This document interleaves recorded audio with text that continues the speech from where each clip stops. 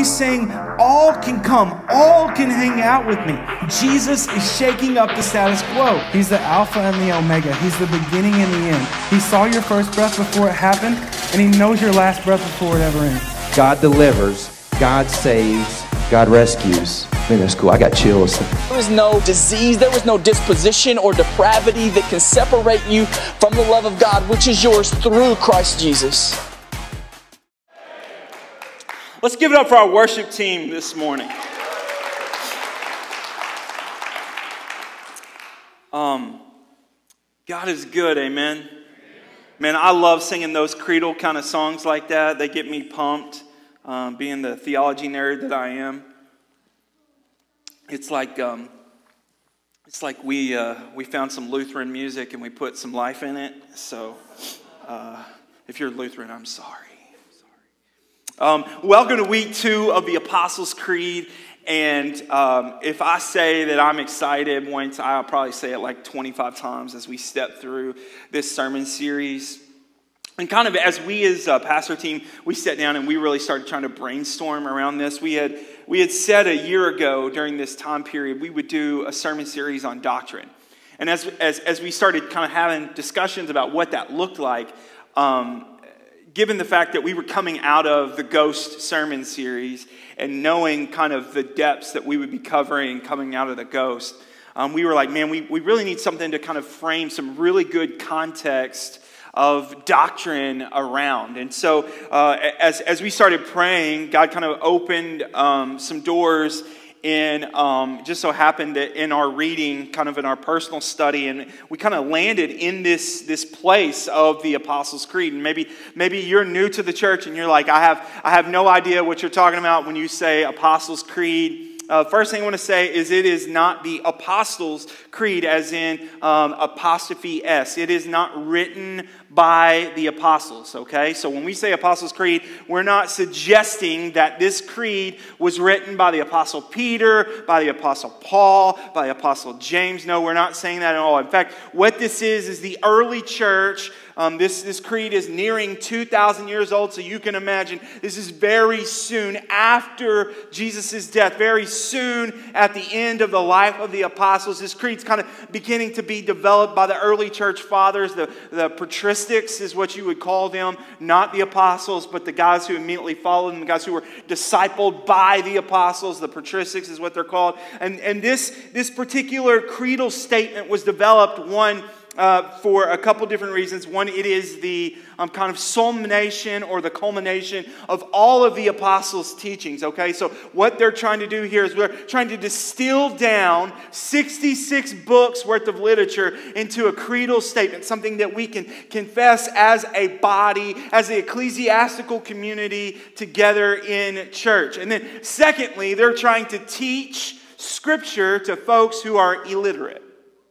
Now, remember, um, during the early church, and especially for much of medieval history, folks did not know how to read.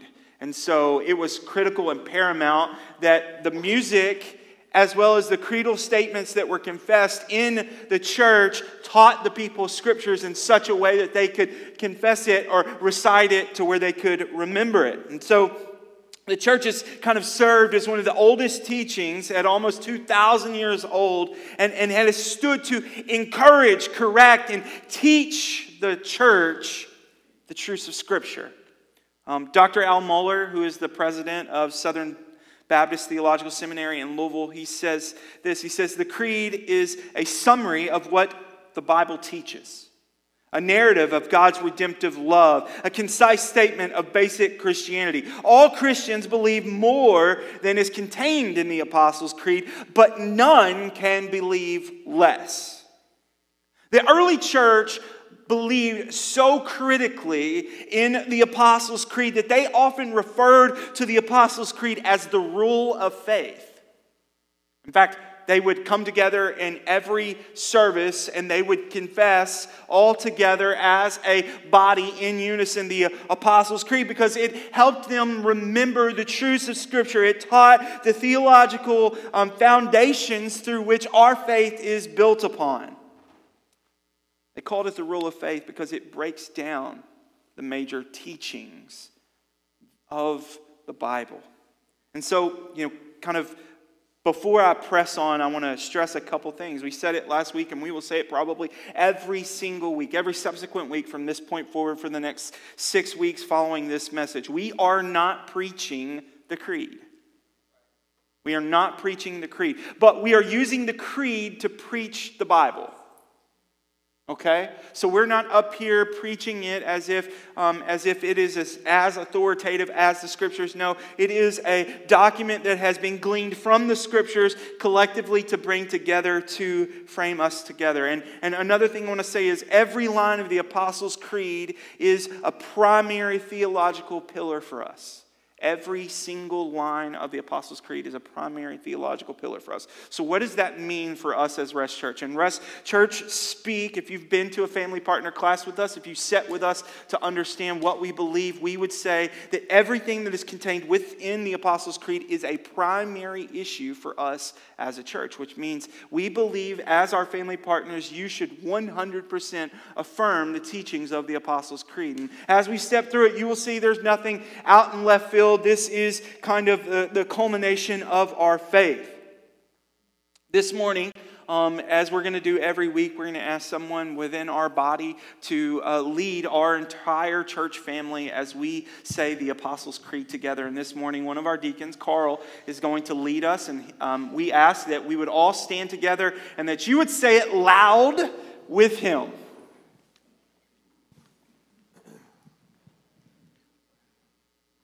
I believe in God the Father, the Father Almighty, creator of heaven and earth.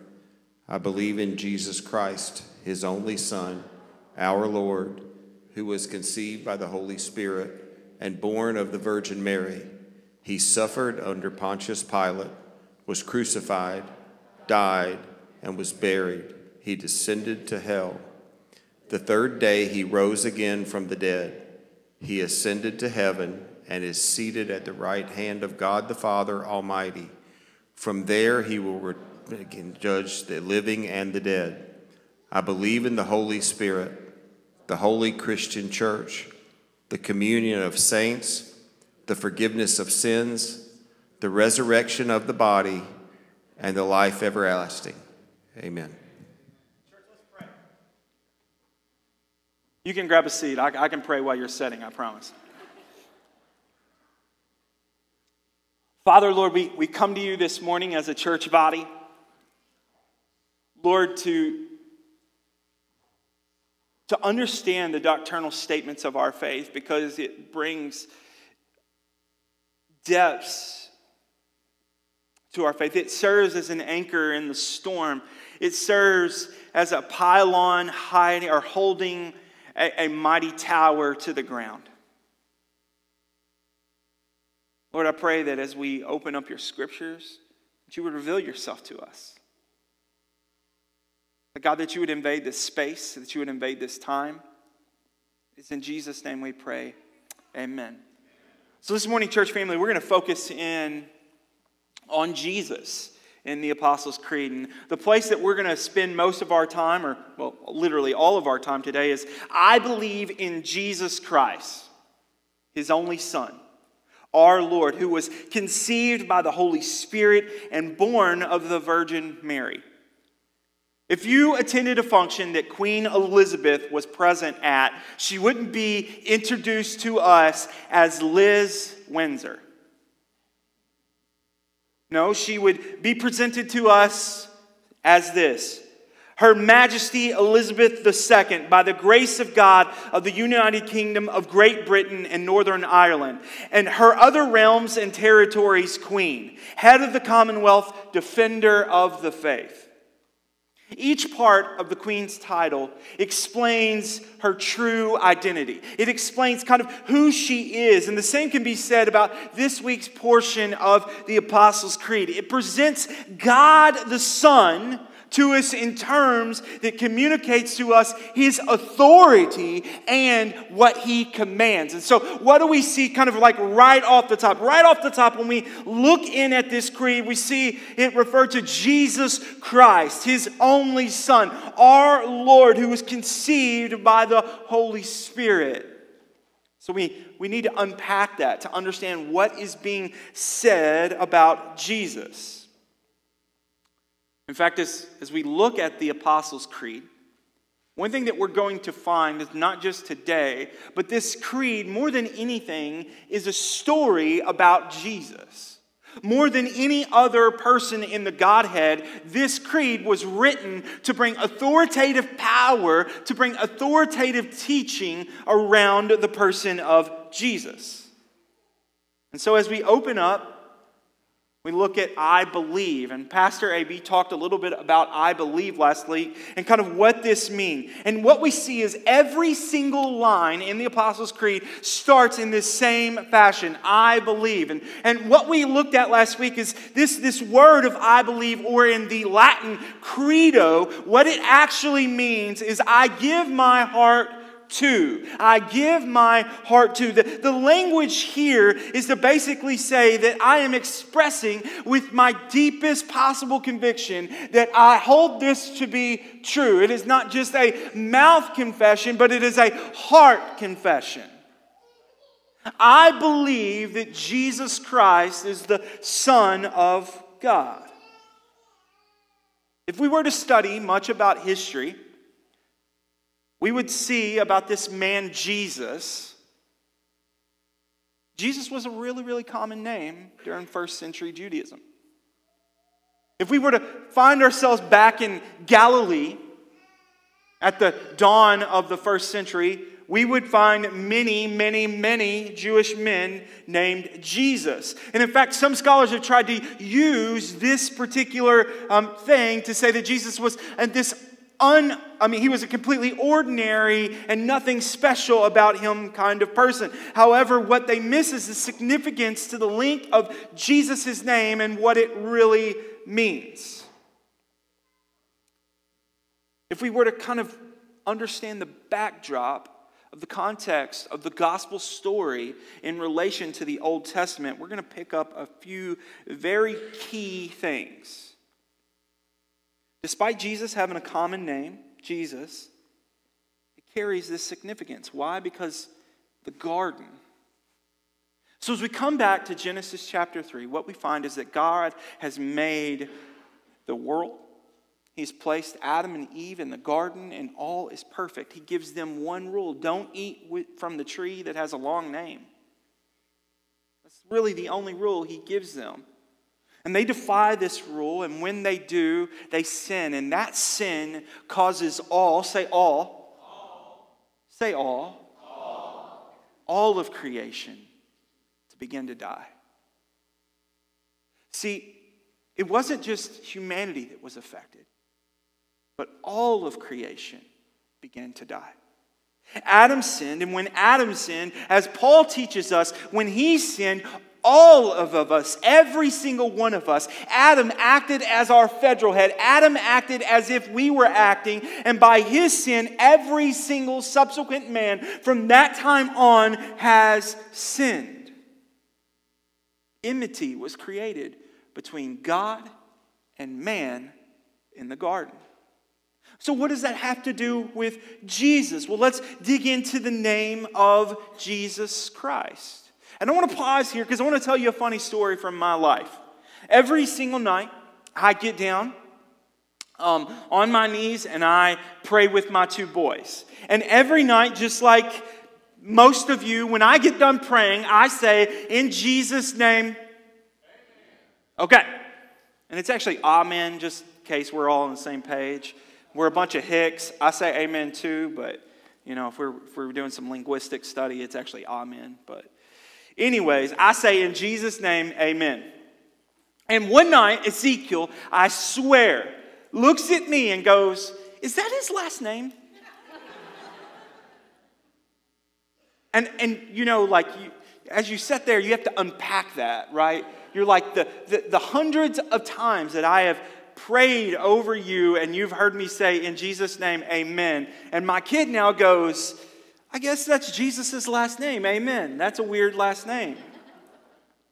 But the reality is, is if we look at this Jesus Christ, the chances are that many of you don't necessarily understand what's going on when you say Jesus Christ. In fact, every time you say Jesus Christ, you are making a doctrinal statement. Say, I'm a theologian.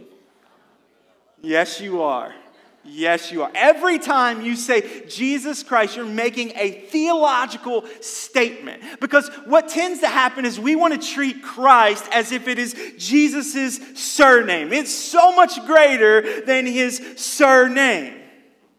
Jesus, in the literal sense, means the Lord saves. The Lord saves. And Christ means the anointed one of God, the Messiah. The anointed one of God, the Messiah. And so, what are we saying? When we say Jesus Christ, you're declaring the Lord, Elohim, saves through the anointed one, the Messiah. So you're making a doctrinal statement every time you say that. And so, so when we look at this common name, Jesus, in the context of first century, but then we look at, the, at, at that against the backdrop of Genesis, what we see is we see a holy and righteous God who is invaded, who has stepped down into human history in order that he might save us. See, we, we had enmity between us and the Father. We were separated, separated so much so that if we looked upon God the Father with our human eyes, we would die. In fact, we see examples of this in the Old Testament as God shields Moses and says, You can't look at me. You can look at the glory, the remnant of my glory as I pass by. And as he comes down from the mountain of looking upon the remnant of God's glory, the people of Israel cannot look upon him because he is shining, his face is like the sun, it is shining so bright.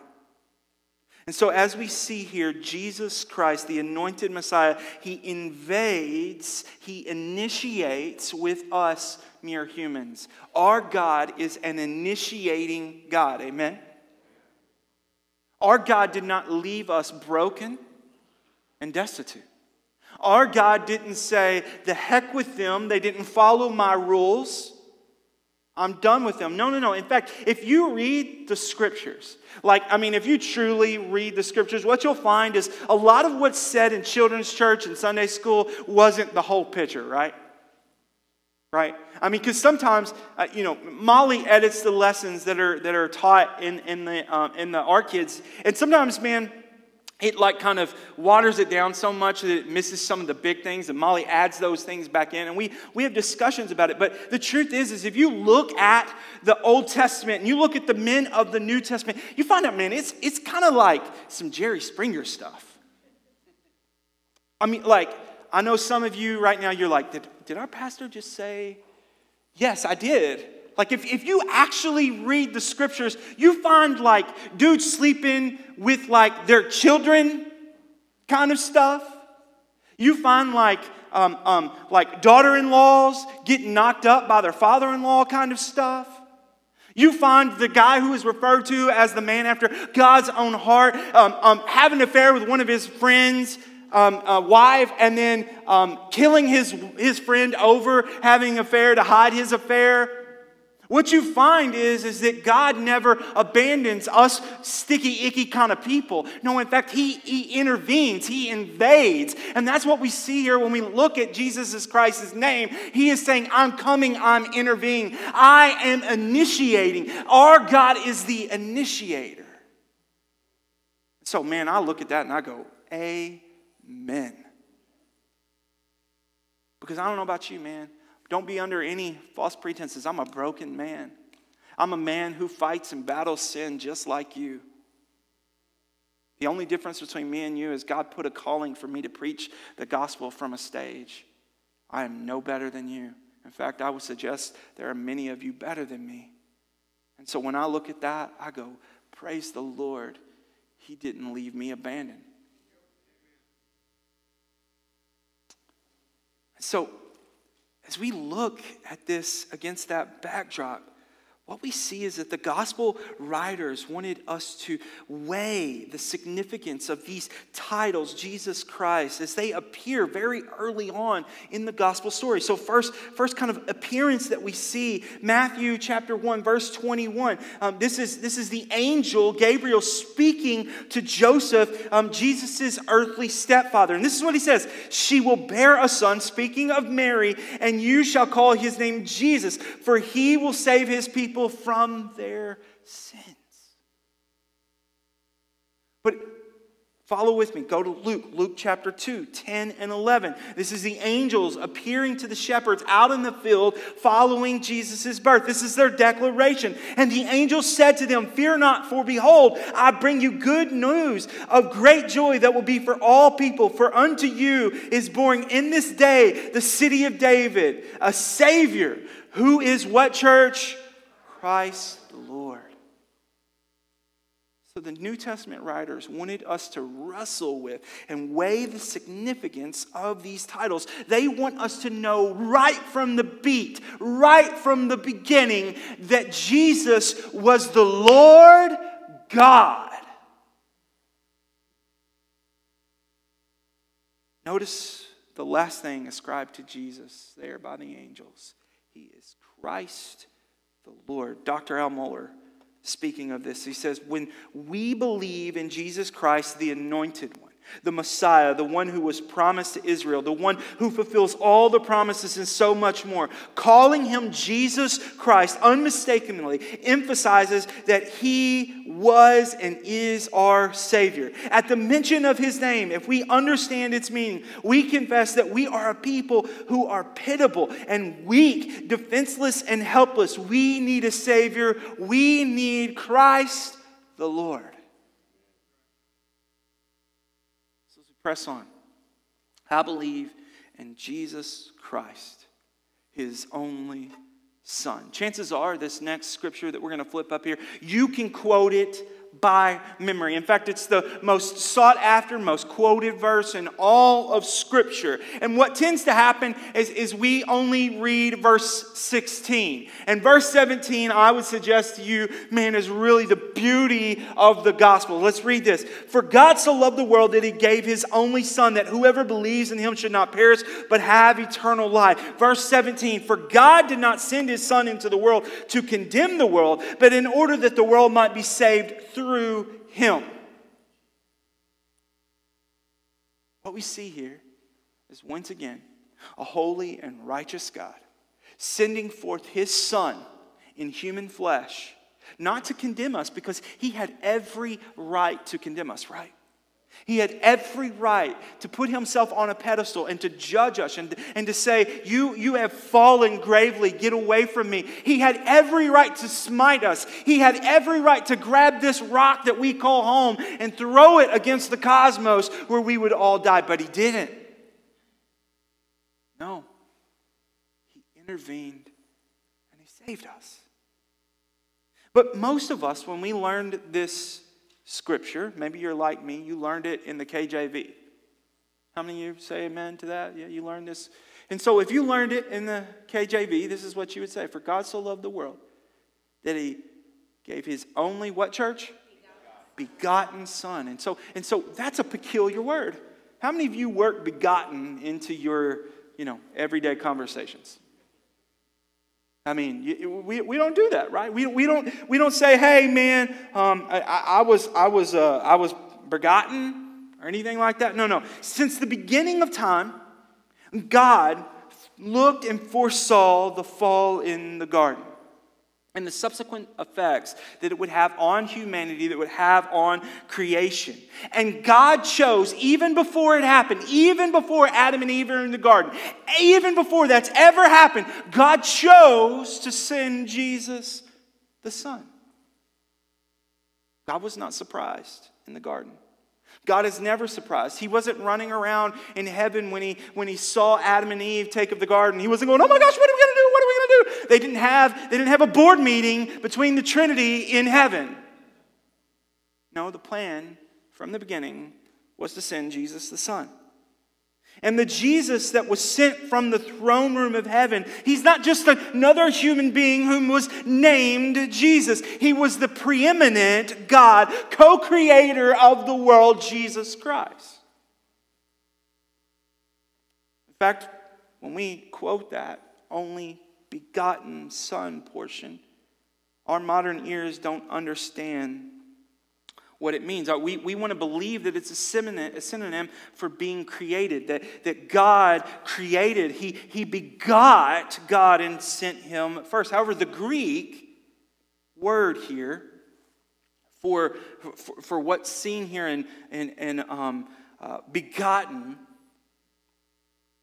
it's monogenesis, expressing not that Jesus was created, but that he is uniquely God the Son. Not that he was created, but that he was uniquely God the Son. Jesus is of equal substance and co eternal with the Father. Jesus has always been God, but there was a moment in time when God begot him into the flesh, and that's what it means. Not that, not that he wasn't preeminent, not that he has not been eternal since the foundations of the world. No, he has always existed. Even before the incarnation, the second person of the Trinity, Jesus, has always been. He is eternally the Son of the Father. Listen to what Paul says, speaking about Jesus' preeminence in first I mean in Colossians chapter 1 verses 15 through 20. He is the image of the invisible God, the firstborn of all creation. For by him all things were created in heaven and on earth, visible and invisible, whether thrones or dominions or rulers or authorities. All things were created through him and for him. And he is before all things, and in him all things hold together. He is the head of the body, the church. He is the beginning, the firstborn from the dead, that in everything he might be preeminent.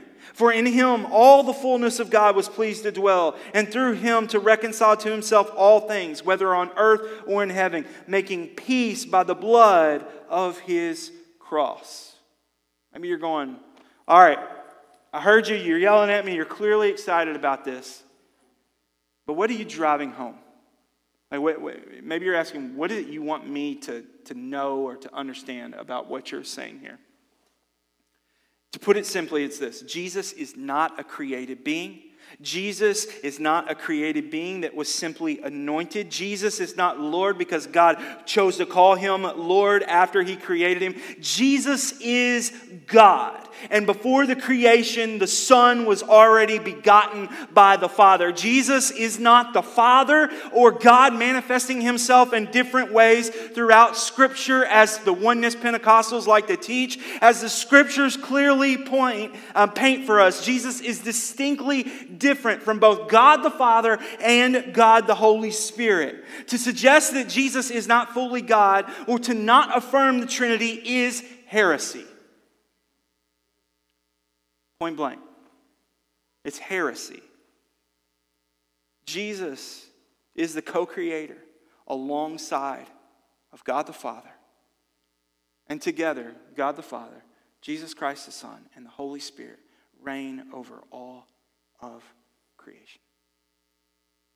To suggest anything else would, for me, it would be asking you to do mental cartwheels around what the scriptures reveal to us. We see the Trinity from the very beginning. In the beginning, God created the heavens and the earth, and the Spirit hovered over the waters. At one point, God, Elohim, speaking, Moses writing, speaking on behalf of Elohim, says, Let us create man in our own image. One or two things either there's a trinity or we serve a paranoid, schizophrenic God.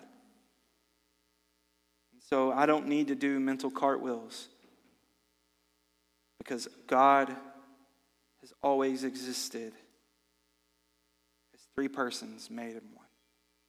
I believe in Jesus Christ, his only Son, our Lord. Jesus' willingness to have himself subjected to the weight and the penalty of our sin and to pay our ransom was a love not of this world.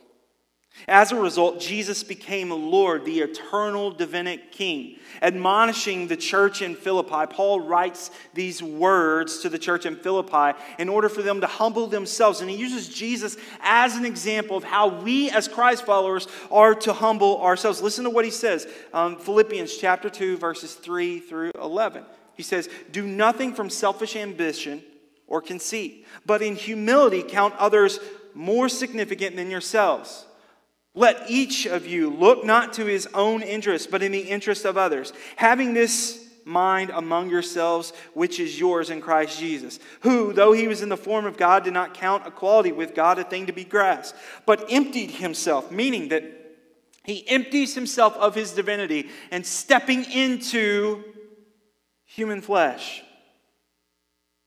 He emptied himself by taking the form of a servant, being born in the likeness of men and being found in human form. He humbled himself by becoming obedient to the point of death, even death on a cross.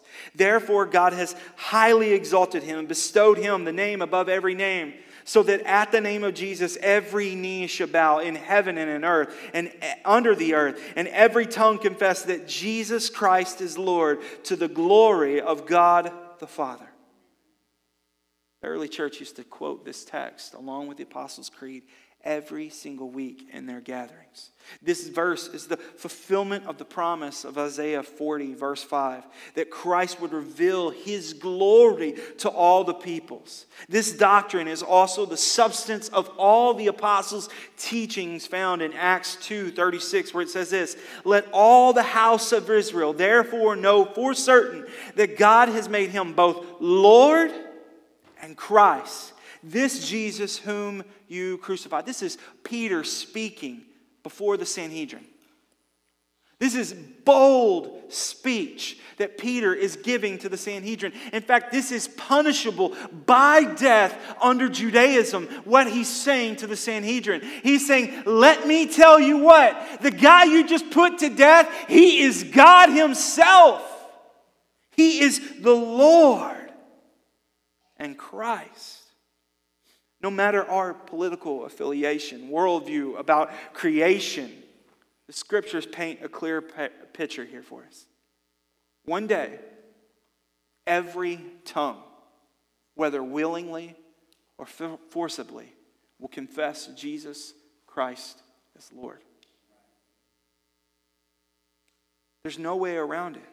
When we confess Jesus is Lord, we are simply stating he is before all, above all, and the creator of all. We are confessing our dependence on Him for our very next breath. We are confessing our desire for relationship with Him. So I believe in Jesus Christ, His only Son, our Lord, who was conceived by the Holy Spirit and born of the Virgin Mary. Up until the past few centuries, the immaculate conception was not really questioned within the church.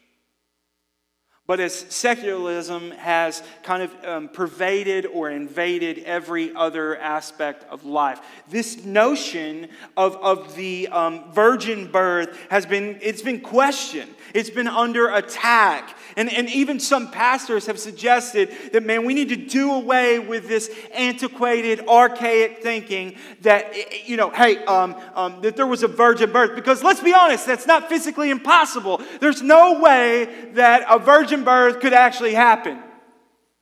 You don't think it's a miracle. That's why they call it a miracle. I mean, you know, dead people don't just walk around, do they?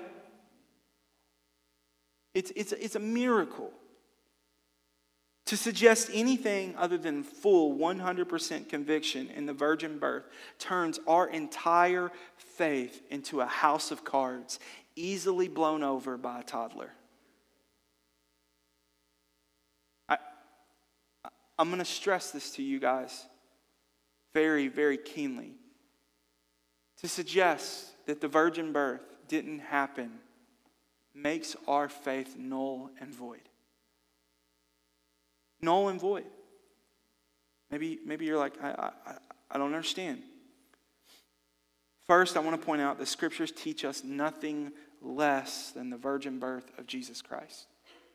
They teach nothing less. So, for us to suggest that it was made up, it's archaic, it's antiquated, we're essentially now beginning to pick apart the scriptures and say what is or is not orthodox. And the moment that we open up the canon of scriptures and we begin to say what is or is not orthodox, we might as well shut it and throw it in the trash. Without the virgin birth, church, there is no gospel. Without the virgin birth, there is no gospel. A Christian who doesn't believe in the virgin birth is in eternal peril. For one, for the one whom he believes is not the one whom the scriptures testify about. The Apostles' Creed, therefore, has included the virgin birth for good reason. It is true, it is essential, it is glorious. As the Creed suggests, Jesus Christ is the seed of a woman. Church, I, I need you to hear this. Jesus Christ is the seed of a woman. He is not the seed of a man, which is humongous when you start to understand substitutionary atonement. Because if he wasn't conceived of the Holy Spirit, and I could have went for 25 minutes on the Shekinah glory of God and how that, Eve, uh, uh, how that Mary became pregnant, and I'm not going to do that, but it's really cool. I wanted to tell you about it, that I at least know about it. But if that had not have happened, if the Holy Spirit, the glory of God had not came upon her in order to immaculate conceive, we would all be stuck in our sin we would all be stuck in our sin. Because as the scriptures reveal to us, Jesus Christ, the seed of a woman whose heel would strike the serpent and would reverse the curse by a sovereign act of God. The seed of a woman would do that. Dr. Mohler says this. He says, without the virgin birth, Christ is not God. If Christ was not conceived by the Holy Spirit, then he must have a human father, and thus he is not divine. And also, without the virgin birth, the gospel does not provide salvation. If the virgin birth is a lie, then Jesus could have never reversed the curse and saved sinners. Moreover, if Christians deny the virgin birth and treat the conception of the Holy Spirit as a myth, then they threaten the whole range of other Christian doctrines, such as the truthfulness of Scripture, the humanity of Christ, the sinfulness of Christ, and the nature of grace. The early church fathers thought it was of the utmost importance for the church to understand the hypostatic union that we see here in the creed. And you maybe are going, hypostatic, what, what, is, what is that? Is that like a calisthenic? Hypostatic union is the meaning in Jesus, God and man became one person. A person unlike any other the world had ever seen, a person unlike anyone that will ever come again. He became God and man all in one vessel. They understood in order for Jesus to save the world of its sin, Jesus must be both God and man. And in order to achieve this union between God and humanity, Jesus must be conceived by the Holy Spirit and born of a virgin. Only Jesus, only an, a, a divine person serves as the perfect substitute and offering to God the Father. Christianity becomes a house of cards when we remove the virgin birth. Because the scriptures teach us that every one of us, the seed of men, every one of us are the seed of men. And as Paul lays out so eloquently and so perfectly in Romans, every one of us are born sinners by nature. We are totally depraved coming out of our mother's womb. And, and I, I have sweet ladies come up to me every time I say that and go, I don't believe that's true. You can't make me believe my little baby is, is bad. And I want to go, take your little baby to that nursery and just hang out behind a you know, glass wall, and we'll see how perfect and beautiful it is when it throat punches another kid over some Cheerios. You didn't have to teach that baby how to throat punch. It came out knowing, right? Right? I mean, if you ever had kids, man, you know, man. It's like the first time your kid lies to you, you're like, who even taught you how to do that? Like, like you're, you're, you're baffled. You don't know what to do. You're, you're kind of reacting. You're like, you're like Ricky Bobby. You don't know what to do your hands in that moment. Right? So it's like uh, we don't have to be taught how to be bad. We, we, we don't have to be taught. And so to suggest that Jesus was not born of the seed of the Holy Spirit through the woman would suggest that, man, Jesus was just another dude walking around first century Judea. It would, it would suggest that Jesus is nothing greater than Confucius. Jesus is nothing greater than Muhammad. Jesus is nothing greater than Buddha. He is just a regular old dude. Therefore, if that guy did die on a cross, his death means nothing. Because he was a sinner just like you and I. And the bad thing is, is when we say, when we say or we suggest that the virgin birth is not 100% true, you're essentially nullifying your faith in that moment. Know what Paul says about us when we do that? He says we are a people to be most pitied. We're a people to be most pitied because we're still stuck in our sins. God the Father is still angry at us, and one day we will be punished apart from that blood. And so there is no gospel. There is no gospel apart from the virgin birth. It is paramount, it is orthodox, it is primary in our faith. So, as a church, if we are truly Christians, we have no choice but to affirm the virgin birth as true and orthodox. So, when we evaluate these statements, such as the Apostles' Creed, I believe in Jesus Christ, his only Son, our Lord, who was conceived of the Holy Spirit and born of the Virgin Mary. When we evaluate these things, when we evaluate this creed and we, we look in at Jesus, we are being asked a question. We are being asked a question, church. Whether you know it or not, you're being asked the same question that Jesus asked his disciples in Matthew chapter 16 as they came to the coast of Caesarea Philippi. What is that question? Who is Jesus? Saying this, verse 13 of chapter 16. Now, when Jesus came into the district of Caesarea Philippi, he asked his disciples, Who do people say that the Son of Man is? They said, Some say John the Baptist. Others say Elijah. Others say Jeremiah, one of the prophets. I want to pause there. These are all great compliments. Every one of them are a great compliment. If any one of us were attributed to any of the men mentioned here, you would be like, yes.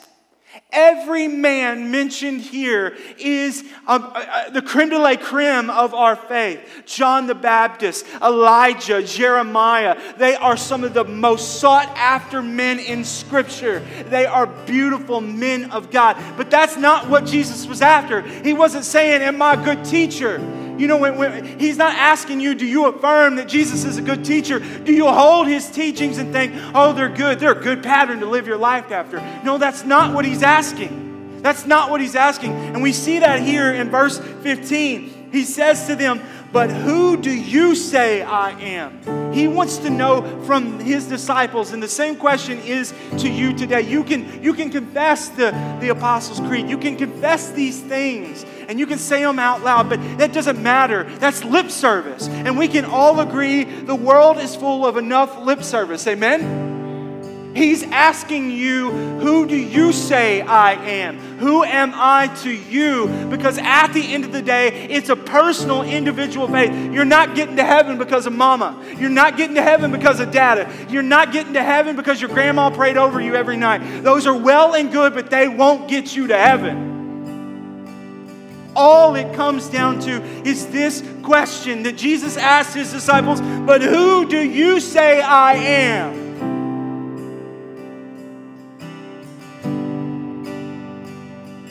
Simon Peter looks face to face at the eternal God, the creator, the co creator of all of creation, and he says this You are the Christ. You are the anointed one from God. the Son of the living God.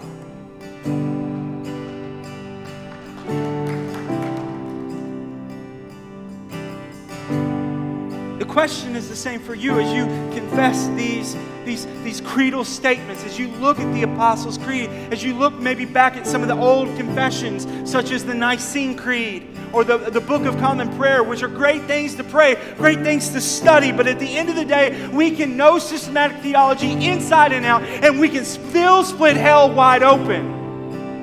You can know the scriptures. You can quote John 3:16. You can quote the entire book of Proverbs. You can know it front and back. But if you don't know Jesus Christ as Lord, you aren't saved. So as we come to this moment, it's a watershed moment for every single one of us. It's a question that we must ask ourselves, who is Jesus to me? And the reality is, we can't just confess Jesus as Savior. That's not good enough. We must confess Jesus as Savior and Lord.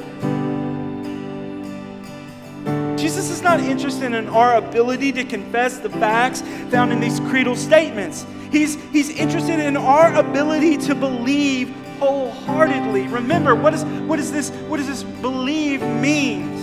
It means that we give our whole heart to we give our whole heart to. Jesus is not interested in a piece or a portion of our heart, He wants it all. Jesus is not interested in a piece and a portion of your life. He wants it all. He says, I'm not, I'm not settling for half. I don't want a little bit, I want it all. And so there's, there's two groups of folks here as, as we come to Matthew 16. I feel like every time I preach this text, there's, there's two different groups of folks. The, the first one is, is those who have not confessed Jesus Christ as Lord. And, and, and you might not say today, I'm willing to answer that question with you, preacher. I'm willing to have that conversation with myself. I might not be there today. I want to tell you, you might not be there today, but one day, whether you like it or not, you will have that conversation. I just hope and pray that you have that conversation on this side of heaven. And you might say, Oh, are you trying to scare me, Pastor? If that's what it takes for you to meet Jesus, absolutely. Because the reality is that there is a real, just as hell as the seat you're setting in, that one day, if you don't know Jesus, you will spend eternity there. And the full wrath of God's glory will be poured out on you for all time worse than what was experienced to Jesus on the cross.